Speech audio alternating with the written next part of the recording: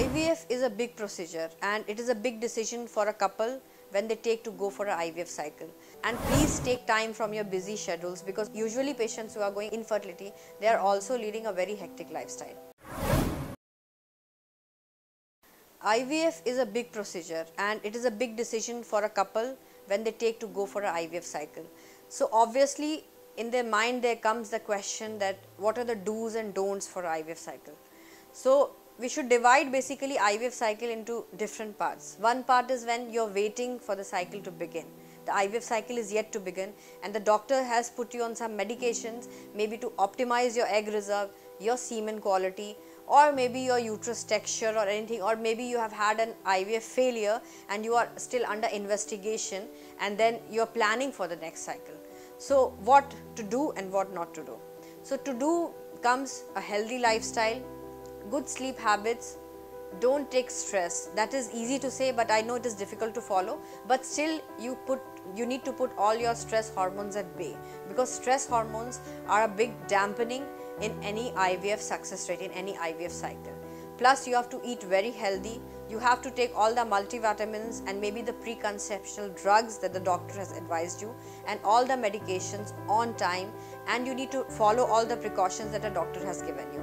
Stay out of all sorts of drug abuse all sorts of alcohol cigarette intake.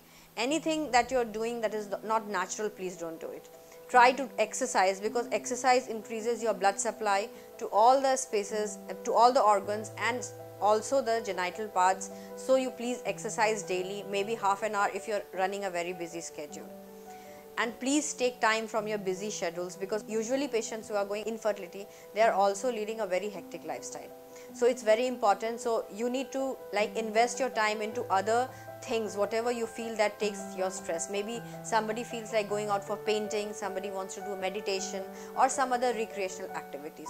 Fourthly obviously you are using the electronic media in, at your workplace but please try to curtail yourself from it when you are at your home or you are at your ease Fourthly, avoid all people who are giving stress to you. So anybody in your neighborhood also or in your relation who is talking all about your fertility issues and giving you a lot of stress between your couples. So you please avoid talking to these people also on mobile phones also or using any gadgets with them or interacting with them. Try to maintain a like a positive attitude with positive people who are giving you positive feedback.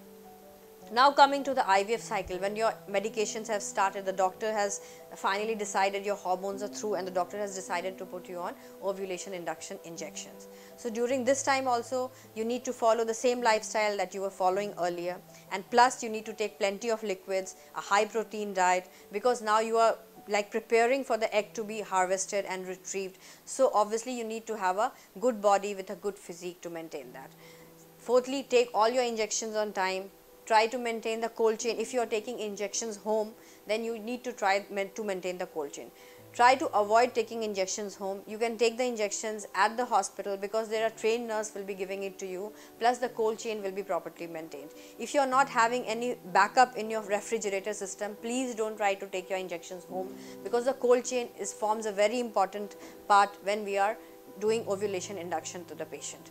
Fourthly, now coming to the like your eggs are ready, you have been stimulated thoroughly and now coming to the procedure that is the ovum pickup that is the most important day of the IVF cycle because ovum pickup that day only decides how many eggs are retrieved and what kind of embryos we are going to make. So first and foremost you have to follow the doctor's instructions, give all your blood tests, the hormonal tests that are required before the ovum pickup.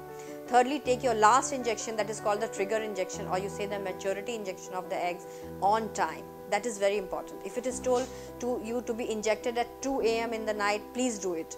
Don't do it 5 minutes before or 5 minutes later than that. Please reach the hospital 5 minutes earlier and just see to it that you are injected on time. Secondly, that cold chain of the last injection, the trigger injection also has to be maintained on time. It is never to be kept in the freezer. It is always kept in the lower compartment of the fridge. So try to just emphasize this that it is not kept in the freezer. Many patients take the injections and put it in the freezer. Only the ice pack needs to be kept in the freezer, not the injection. Then when you are traveling back to the hospital, you are supposed to take it as it is and get yourself injected. Fourthly, on the day of ovum pickup, you have to be minimum of 6 hours fasting before the procedure because anesthesia, general light anesthesia is given to you. You have to follow all the instruction given by the anesthetist. If by chance you are having any medical disorders and you are taking medications for any thyroid disorders or hypertension, do take it with sips of water as your doctor has instructed. If you are diabetic, then definitely if you are on insulin, you need to see your endocrinologist plus the infertility specialist and you take your precaution list and follow it very cautiously. Fourthly, you have to maintain abstinence with your husband minimum of 2 to 5 days before the ovum pickup. So that is very necessary because one sample of fresh sperm is usually taken on the day of oocyte retrieval. So these are some of the precautions that need to be carried by, that need to be followed by the patient very nicely. Fourthly, don't use any deodorants, any perfumed soap for taking a bath also on the day of ovum pickup because all things which are carrying high level of perfumes are gametotoxic. So this needs to be followed like it is very important that you follow it. You remove all your nail paints that is very essential. Don't put any makeup, any lipstick at the time of ovum pickup because you will be in the operation theatre. And fourthly you have to be very much stress free and very much cool and confident. You put all your anxiety at bay and leave everything to us doctors. So to have a very healthy ovum pickup and to get healthy oocytes.